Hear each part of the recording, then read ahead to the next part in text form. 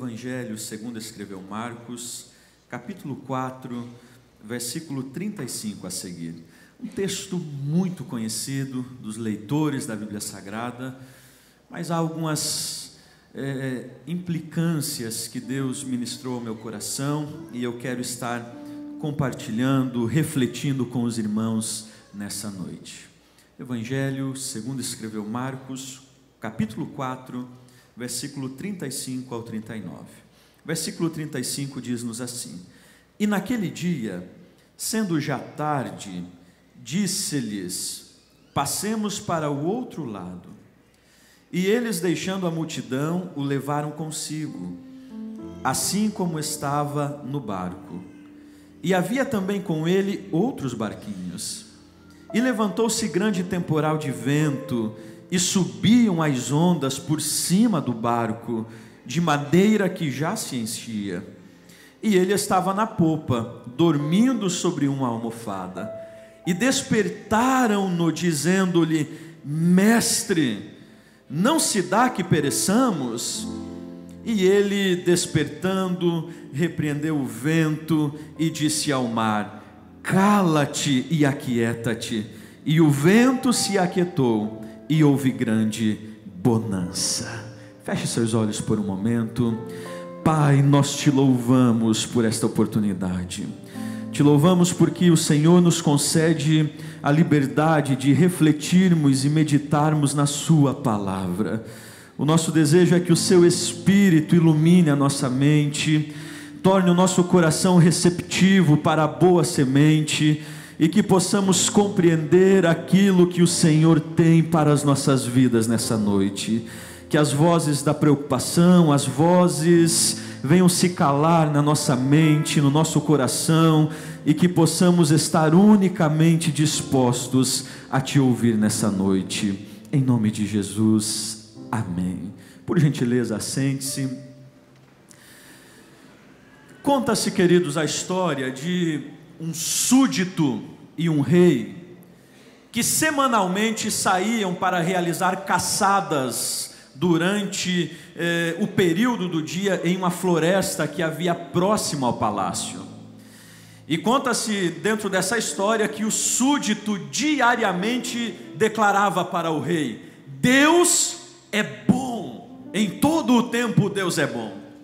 E os dias se passavam, a cada dia eles saíam para a caça rotineira, e em um desses dias, a história nos relata que uma fera acaba atacando o rei e devorando o dedo mínimo deste rei. Naquele exato momento, o súdito olha para a situação, quando eles conseguem afugentar a fera, e o súdito diz para o rei: Deus é bom, em todo o tempo Deus é bom. Aquele rei raivoso pega o súdito, o coloca em uma prisão e diz: Fique aí, porque o seu Deus não é bom, não. Nos dias seguintes, o rei retorna a caçar, agora com alguns outros é, súditos. E no decorrer desta caça, alguns canibais acabam lhe prendendo. Levam-no para sacrificarem. Porém, quando estão no processo para o ato do sacrifício, eles percebem que aquele rei não possuía o dedo mínimo. E dentro da sua cultura, uma pessoa que não possuísse um dos dedos era impossibilitado para o sacrifício, porque não era perfeito. Dessa forma, eles liberam o rei para que ele retorne para sua casa. O rei volta para o seu palácio feliz, vai até a prisão e diz para o súdito: Estou te concedendo liberdade novamente. Deus realmente é bom, porque através daquele episódio em que eu perdi o dedo mínimo, eu hoje não perdi a minha vida. Só que aí ele olha para o súdito e diz: Mas eu não entendo uma coisa. Se Deus é bom, por que ele permitiu que eu te prendesse? E o súdito olha para ele, dá um sorrisinho e diz: Porque se eu não estivesse preso, o sacrifício seria eu. Uma grande verdade, queridos, está intrínseca nessa história. Deus é bom em todo o tempo, mesmo em meio às circunstâncias difíceis, mesmo em meio a situações complexas, mesmo em meio a tempestades, a vendavais, mesmo em meio a situações em que nós nos sentimos desamparados, Deus continua sendo bom para com a nossa vida. E mais do que isso, Deus sempre nos ensina lições preciosas, mesmo em meio a situações difíceis da vida. É por isso que nessa noite eu quero refletir contigo, em rápidos é, minutos que nós temos, sobre valiosas tempestades. Com base nesse texto de Marcos 4 e 35, existem algumas lições preciosas que Deus vai transmitir aos nossos corações através desse texto. A primeira lição nós encontramos no versículo 38. Olha só o que diz: E Jesus estava na popa, dormindo sobre uma almofada. Nesse texto, Jesus está convidando os discípulos para atravessarem o mar da Galileia. Um mar que não era tão grande, possuía aproximadamente 22 quilômetros de comprimento, por 14 quilômetros de largura. Três lados deste mar eram cercados de montanhas com aproximadamente 300 metros de altura. Próximo ao mar da Galileia, nós temos o Monte Hermon com mais de 2.700 metros de altura. E era muito comum no decorrer dos dias e dos meses soprar o vento gélido dos picos do monte do Monte Hermon e descer até o lago ou o mar da Galileia, onde o ar era quente. Quando havia esse choque de ar frio com ar, ar quente, o que acontecia eram tempestades, ondas se levantando, vento soprando, e este contexto, esta realidade, era uma realidade muito comum para a época. Os navegadores, os pescadores do mar da Galileia tinham conhecimento de que vez em quando, as tempestades assolavam naquele lugar. Só que, queridos, o texto me chama a atenção que Marcos está narrando e declarando que Jesus estava na popa dormindo. É muito provável que quando Jesus os convida para irem até o barco e fazerem a travessia, estes homens eram pescadores. Eles começam a olhar para o tempo e é muito provável que um diz para o outro: rapaz, o tempo está bonito hoje. Não vai chover, não vai dar tempestade, está tudo muito bom. Nós podemos navegar tranquilamente. Pastoreei algum tempo em São Francisco do Sul e um dos setores era o Paulas. Atravessava a rua, está no mar. E era muito comum, alguns pescadores congregavam conosco e eles falavam, pastor, a gente consegue perceber se haverá tempestade ou não pelo tempo. Então nós começamos a observar: olha, o tempo está é, é, bom, está calmo, o vento está soprando em tal direção, hoje não terá tempestade, podemos sair para o mar. É muito provável que esses discípulos tomem essa decisão. Um olhe para o outro e diga: rapaz, o tempo está bonito, o vento está soprando é, tranquilamente, essa brisa suave, não vai ter tempestade. Vamos deixar o nosso mestre dormindo. E aí acredito eu que eles dizem para o mestre: o nosso mestre, pode descansar, dormir tranquilamente, porque aqui nós estamos no comando. Nós conhecemos esse mar, nós conhecemos o trajeto, nós conhecemos o, o, o processo de navegação, nós somos experientes na navegação pode descansar tranquilamente e deixe que nós estejamos no comando dessa embarcação. Só que o texto, queridos, vai nos dizer que uma grande tempestade se levantou. Essa expressão no hebraico é seismos, e ela traz a ideia não apenas de tempestade, mas de terremoto, apontando não para uma pequena tempestade, mas para uma tempestade tamanha que deixou estes homens assustados e perplexos. A calmaria deu lugar ao vendaval. A brisa suave deu lugar a ventos fortíssimos que começaram a levantar ondas tamanhas que eles perceberam que a embarcação ia a pique. E aqui há uma grande primeira lição que as tempestades nos ensinam Pastor, o que é? A tempestade chegou para estes homens e ela revelou que Jesus Cristo não estava no comando daquela embarcação.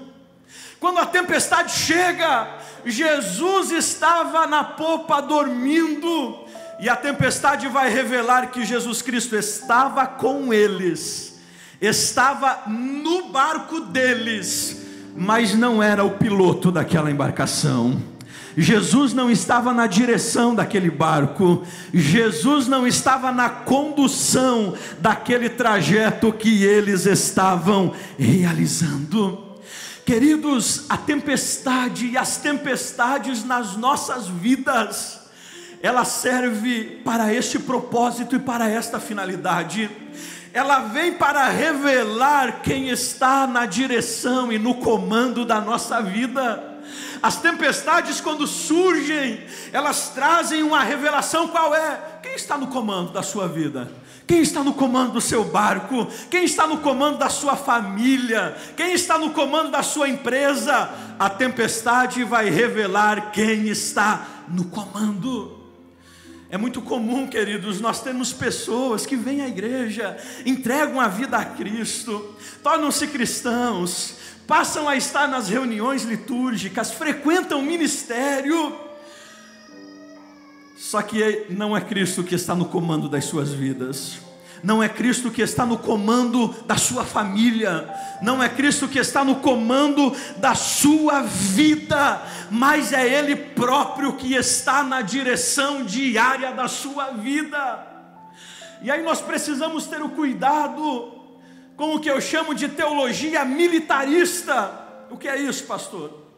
É o problema que muitas vezes está intrínseco dentro das nossas raízes teológicas, que vai desde as nossas orações.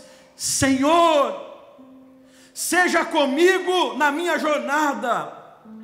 Até aí a coisa está mais ou menos. Mas aí para frente a gente começa, Senhor, abençoe os meus projetos. Senhor, estenda as suas mãos e dirija os meus propósitos.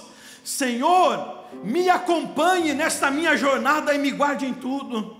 Sabe o que a gente está declarando aqui? Que o Senhor não é o comandante da nossa vida, que o Senhor não é o comandante da nossa embarcação, da nossa família, mas que Ele é apenas um acompanhante, um visitante que está seguindo as nossas diretrizes. Enquanto a nossa oração deveria ser algo contrário. Senhor, destrua com os meus projetos e cumpra os seus na minha vida. Senhor, não deixe eu trilhar no meu caminho, porque o meu caminho no final pode ser morte, mas me conduza nas suas veredas de verdade e justiça. Nós deveríamos orar dizendo: Deus, não permita que eu ande nos meus próprios caminhos não, feche porta. Se preciso for, me segure, mas não deixe que eu seja o comandante da minha vida, mas que eu seja o mero visitante, o mero acompanhante, e que o Senhor esteja no controle da minha vida e da minha família. As tempestades elas revelam elas têm esta finalidade de gerar e mostrar para nós quem está no comando da nossa vida. Ah, queridos, que as tempestades, quando chegarem na nossa casa, que as tempestades, quando soprarem na nossa família, aleluia, elas possam revelar que não sou eu que estou no comando, não. Que elas possam revelar que não é a minha esposa, meu filho, não, não. Mas quem está no comando da minha vida e família é o próprio Deus. Quando a tempestade chega, ela traz esta grande verdade: ei, Cristo está dormindo e vocês estão no comando. Mas existe uma segunda verdade extremamente valiosa que as tempestades nos ensinam. É por isso, querido, que as tempestades elas são valiosas em muitos momentos na nossa vida. Nós olhamos para o versículo 38, aqui há uma expressão extremamente importante. O texto diz: Jesus estava dormindo na parte de trás do barco, com a cabeça numa almofada. Então os discípulos o acordaram e disseram: Mestre, nós vamos morrer. O Senhor não se importa com isso? A pergunta desses homens é: não te importa que morramos? E quando nós começamos a estudar de forma mais cuidadosa esta expressão, nós vamos perceber que os discípulos, na verdade, estavam realizando essa pergunta que estava nascendo do ventre de uma crise. Esses homens estavam vendo a carranca da morte no barco. Eles estavam percebendo que aquela, aquela tempestade estava afundando as últimas esperanças deles.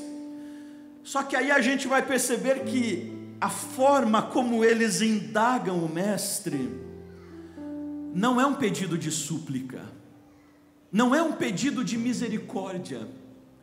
A forma como esses homens estão indagando o Mestre não é um pedido de auxílio ou de ajuda, pelo contrário estes homens estão indagando com uma proposta de crítica e questionamento. Em outras palavras, esses homens estão dizendo: Senhor, ah, acorda aí. O que foi? Como é que é? Nos trouxe da terra para morrer aqui no meio do mar? Que coisa é essa? O Senhor nos tirou de um lugar de calmaria, de tranquilidade que nós estávamos, estávamos acomodados no meio da multidão tranquilamente. O Senhor que fez a proposta, dizendo: Ó, oh, vamos para o outro lado. E agora a gente está morrendo e tu está dormindo? Que história é essa? Quer me rir? O que está acontecendo? Com essa pergunta dos discípulos, queridos, as tempestades vão revelar se há em nós um espírito de adorador ou de murmurador. As tempestades, quando chegam na nossa vida, elas possuem a capacidade, o crivo, a finalidade de revelar, de expor, de trazer para fora a verdade, se somos adoradores ou se somos meros críticos e murmuradores de Deus. É interessante que estes homens, queridos, até poucos minutos atrás, estavam desfrutando de milagres. Não é, pastor Nilton? Até poucos minutos atrás eles estavam ali com o Mestre, Jesus ministrando, curando, multiplicando pães, e aqueles homens ali, ó, no meio, junto com o Mestre. Só que em poucos minutos, quando a circunstância externa é alterada, esses homens revelam o que realmente estava habitando no coração deles. E a pergunta, queridos, que nessa tarde, enquanto eu estava pensando nesse texto, vinha ao meu coração é: quem somos em meio às tempestades? Pergunte para quem está ao seu lado com muito carinho: quem você é em meio às tempestades? Quem nós somos em meio às tempestades? Quem nós somos quando os projetos não dão certo, quem nós somos quando a porta de emprego é fechada, quem nós somos quando a doença chega na nossa família, quem nós somos quando a crise de Jó bate dentro da nossa casa, quem nós somos quando o vento da incredulidade da desesperança chega dentro da nossa família? Quem nós somos quando o ente querido se vai? Quem nós somos quando o carro é roubado? Quem nós somos quando todas as circunstâncias externas se tornam desfavoráveis na nossa vida? As tempestades elas têm esta finalidade finalidade de revelar, de expurgar, trazer para fora e mostrar para nós mesmos quem somos. Porque, queridos, grande verdade é que com facilidade adoramos na bonança, com facilidade adoramos em meio às situações boas e favoráveis. Mas como é difícil adorar quando todas as circunstâncias são contrárias. Aí eu me lembro de Êxodo 15 e 20, e me lembro daquela personagem conhecidíssima chamada Miriam. E nós às vezes gostamos de falar sobre Miriam, a forma de adoração, a forma de envolver um grupo em adoração. Não é? Olha, Miriam, pega o tamborim dela, chama a mulherada do círculo de oração, vamos adorar a Deus e sai tocando, fazendo aquela festa. Só que eu fico olhando para o texto, pastor Ledial, e pensando o seguinte: pegar tamborim e sair adorando, depois que o mar abriu, meu irmão, até o ímpio faz. Agora, pegar o tamborim e começar a adorar enquanto a parede de mar está na frente, aí é para verdadeiros adoradores. Sair adorando e vir aqui levantar as mãos e glorificar a Deus e testemunhar quando o milagre já aconteceu, meu irmão, isso é consequência, é dever nosso. Agora, enquanto a porta não abriu, o milagre não chegou, enquanto a doença ainda está imperando na casa, enquanto a dor da perda ainda é realidade no coração, eu levantar as minhas mãos e o coração em adoração a Deus, isso é para adoradores. As tempestades elas revelam que espírito ou quem nós somos. E aí aqui também eu quero pontuar uma verdade, queridos. Às vezes nós temos a, a, a teologia da causa e efeito, adore a Deus e a porta se abre. Vamos adorar a Deus, porque enquanto você estiver aqui, o milagre acontece. E pastor, isso não é? Claro que é. A gente adora e o milagre acontece, a porta se abre, Deus realiza coisas maravilhosas. Paulo e Silas, Atos 16 e 25, por volta da meia-noite, corpo doído, lenhado, apanharam valendo começam a cantar, adorar e orar, há um terremoto, as portas se abrem, as correntes caem. Só que aí a gente não pode se esquecer de Atos 7 e Estevão. Adorando a Deus com o seu testemunho. Gente, Lucas vai declarar que Estevão era um homem cheio do Espírito. Não era um camarada qualquer sem compromisso, não não era alguém que estava levando a vida à lavonte, não. Estevão, um dos diáconos, cheio do Espírito. Agora esse camarada está lá, adorando a Deus com a sua vida, dando testemunho. E Deus não livra ele, não. Lucas vai dizer que apedrejaram Estevão, ele de joelhos morrendo, vendo os céus abertos. Gente, é só adorador que, em meio a pedradas, está vendo o céu aberto. E Estevão ali adorando. Gente, morreu adorando e o milagre não aconteceu. Aí aqui se testa a nossa verdadeira fé. Por quê, pastor? Porque o verdadeiro adorador ele não adora pelo que o seu Deus pode lhe proporcionar. Porque se nós assim o fizermos, não diferimos e não divergimos em nada de todas as outras religiões. Só que nós o adoramos, queridos, pela sua essência, pela sua bondade, pela sua misericórdia. Nós o adoramos porque nós já temos o bem maior, que é o próprio Deus em nossa vida.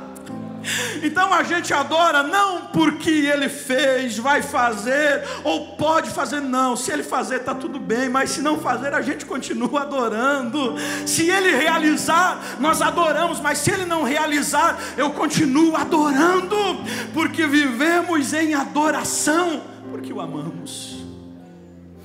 As tempestades elas revelam isso, queridos. Às vezes é importante Sabe, se as coisas estão indo tudo bem na nossa vida, bonança, ei, seja desafiado a dizer: Deus, pode soprar alguns ventos, porque eu preciso perceber se realmente o meu coração está em Ti.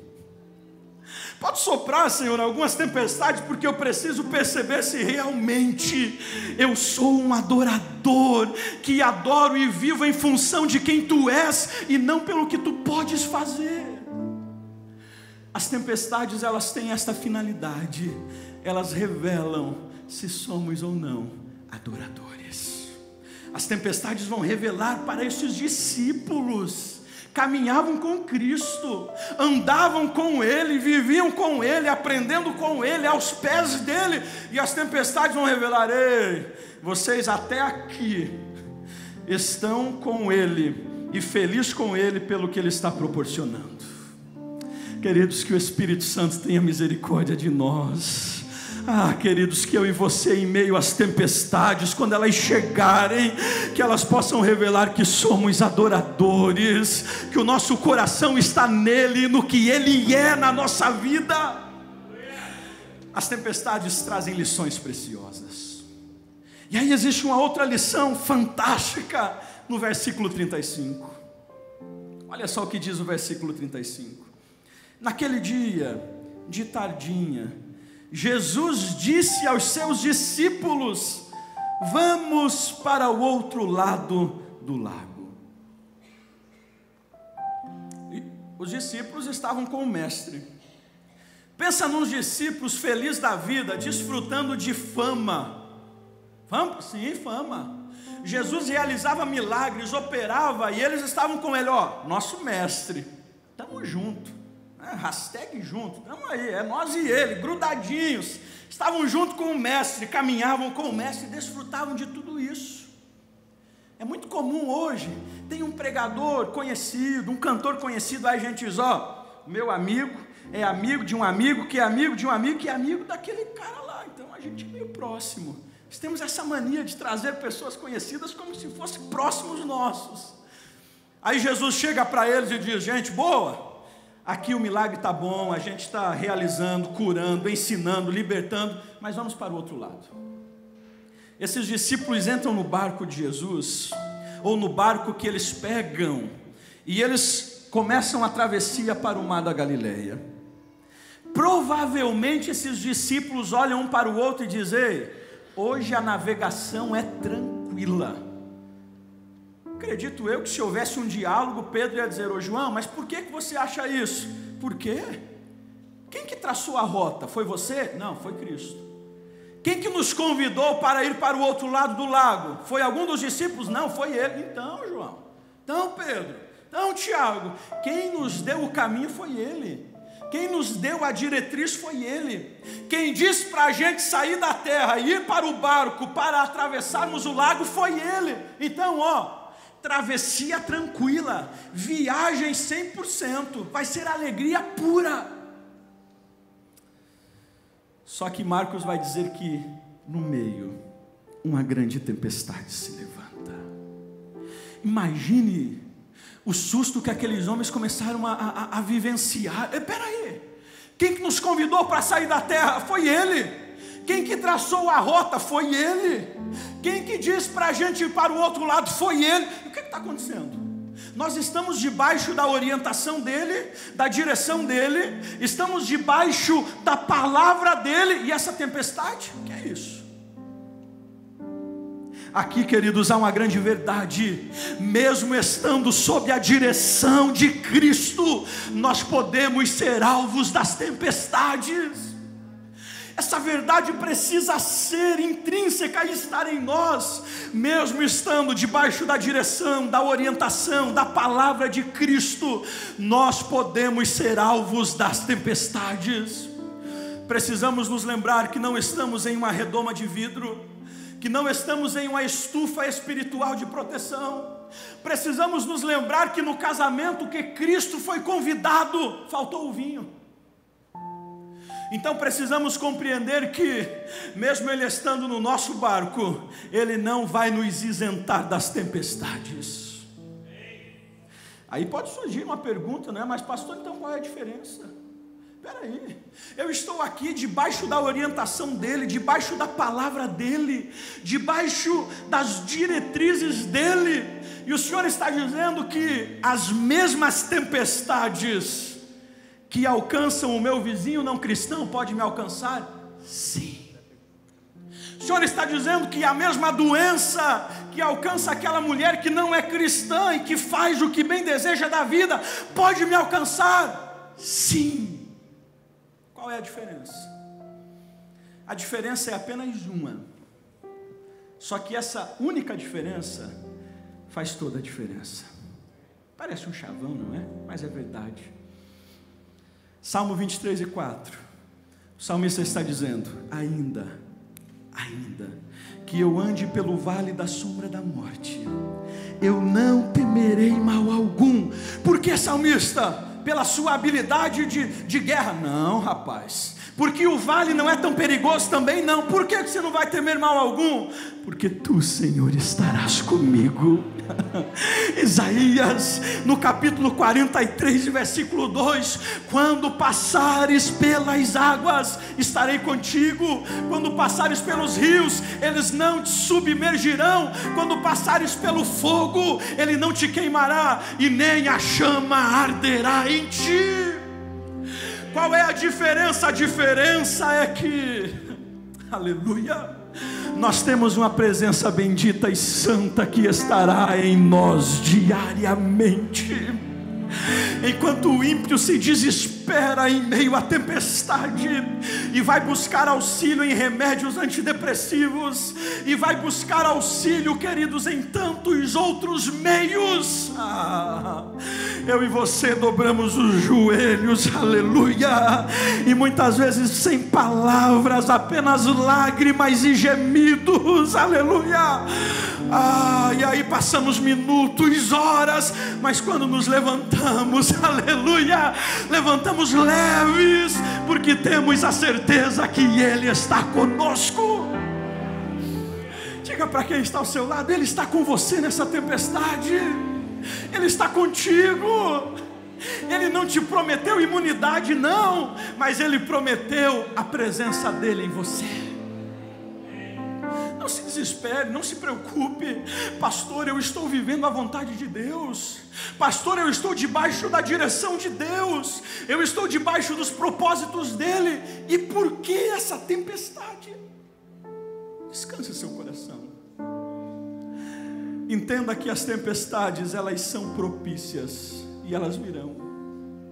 Lembre-se sempre do que Cristo disse: Ei, no mundo, João 16 e 33, no mundo no mundo vocês terão, terão aflições, mas tenham bom ânimo, eu venci o mundo. Jesus, não nos prometeu imunidade, queridos. Jesus não nos prometeu uma vida sem dificuldades, sem lutas, sem batalhas, não. Mas ele disse: Ei, quando ele estava se despedindo dos discípulos, lá em Mateus, no último capítulo e no último versículo, eu estarei convosco todos os dias, até a consumação dos séculos. Ele está conosco. Agora a última lição para a gente finalizar nessa noite está no versículo 39. Então ele, Jesus, se levantou, aleluia, e falou duro com o vento e disse ao mar: Silêncio, fique quieto. O vento parou tudo ficou calmo. Pense comigo a cena. Estes homens desesperados, as ondas enchendo o barco, não sei se eles estavam com balde ou com qualquer outro instrumento tirando água, e o barquinho indo de um lado para o outro. E eles percebendo que iam morrer, talvez, um olha e diz: Rapaz, me perdoa daquela palavra que eu falei, a gente vai morrer, vamos acertar tudo aqui, porque hoje é o nosso último dia, nosso último momento, está acabado. Queridos, eles lutam até exaurir todas as forças humanas que possuíam, e a tempestade não para. Aí eles vão até o mestre, acordam o mestre, Jesus se levanta e me chama a atenção que a tempestade aqui vai nos ensinar algo fantástico. O que, pastor? Ela vai nos ensinar que, mesmo as maiores tempestades da nossa vida, estão debaixo do controle de Deus. Esses camaradas lutaram pela sua vida sem êxito algum. Agora Jesus se levanta ele diz duas frases com quatro palavras: Aquieta-te, vento, acalma-te, mar. E o texto diz que tudo se fez bonança. As tempestades revelam, queridos, em nós e para nós que As situações podem fugir do nosso controle, pode fugir da nossa mão, sim. As circunstâncias familiares podem tomar um rumo que nós não conseguimos controlar mais. As circunstâncias empresariais e financeiras podem seguir uma direção que a gente percebe que fugiu do nosso controle. Só que nós não podemos perder a visão e a consciência de que todas as coisas permanecem no controle de Deus. Deus. Se coloque de pé nessa noite. Aleluia. Isaías 42 e 5. Assim diz Deus, o Senhor que criou os céus e os desenrolou e estendeu a terra e o que dela procede, que dá a respiração ao povo que nela está e o espírito aos que andam nela. Isaías 40 e 12: Quem mediu com o seu punho as águas, e tomou a medida dos céus a palmo, e recolheu numa medida o pó da terra, e pesou os montes com os pesos e os outeiros com as balanças? Deus. Um teólogo e escritor chamado Adolf Paul declara o seguinte: Não temos mais Jesus adormecido no rugido da tempestade mas temos hoje uma tempestade adormecida aos pés do Senhor que dá ordem, aleluia. Eu quero finalizar nessa noite dizendo, queridos, as tempestades, elas têm a finalidade de fortalecer a nossa fé. Sabia disso? Não, pastor, as tempestades vêm para acabar com a gente. Não, não. As tempestades têm a finalidade de fortalecer a nossa fé.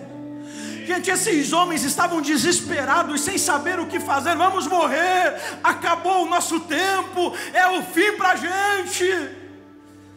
Eles vivenciam o milagre, vivenciam a calmaria, eles veem o que Cristo faz. Alguns dias ou meses depois, outra tempestade. Só que agora Jesus não está com eles. De repente, eles percebem que vem vindo um camarada à noite, pela tempestade, caminhando sobre as ondas. Aí Pedro, ó, é o mestre, é, é, vem, se é, eu preciso ir, então vem. Gente, o homem que há tempos atrás, morrendo de medo, com o mestre no barco, agora olha e diz: se aquela tempestade lá foi fichinha, bastou duas frases e quatro palavras, ele acalmou. Ah, meu irmão, agora eu vou caminhar por cima dessa tempestade. Sabe o que é isso? A fé de Pedro foi fortalecida para enfrentar tempestades maiores que vieram sobre ele. Lembra de Davi? Davi chega diante de Golias, mas antes ele chega em Saúl diz: Ô Saúl, eu vi Golias sim, é forte, é corajoso, é grande. Eu sou pequeno, mas tem uma coisa, ó. Há tempos atrás, eu venci um leão. Há tempos atrás eu peguei um urso e acabei com ele também. E sabe o que é isso, Saul? O leão e o urso foram fortalecimento da fé. E eu farei da mesma forma com esse gigante. As tempestades têm esse propósito, queridos. Talvez no momento nós olhamos e declaramos: é o nosso fim. Aí Deus faz um milagre. Os dias e anos passam. Quando outra tempestade maior chega, dificuldade maior chega, que alguns ao nosso lado dizem: rapaz, aí não tem jeito não, você vai morrer. Aí você diz: ei, eu já passei por tantas lá atrás. Ele já me fortaleceu lá, Ele não me desamparou naquela situação, e Ele é o mesmo, e Ele estará comigo neste momento. Feche seus olhos. Mas antes de orar, eu quero fazer um convite. Você, querido, que nessa noite deseja receber uma oração dizendo: Pastor, eu estou vivendo uma tempestade na minha vida. Eu estou vivendo uma tempestade na minha família, na minha casa, na minha empresa, e eu sei que é somente a intervenção de Deus. Eu tenho a consciência que se Deus não intervir, eu vou naufragar. Ei, querido, pode ser nessa noite que a palavra de Deus será liberada sobre a sua vida e uma intervenção acontecerá. Você que deseja sair do seu lugar e chegar aqui à frente, nós estaremos orando pela sua vida, estaremos orando pela sua família. Nós cremos no Deus que ainda acalma tempestades. Aleluia. Enquanto isso, o grupo de louvor estará adorando. Saia do seu lugar.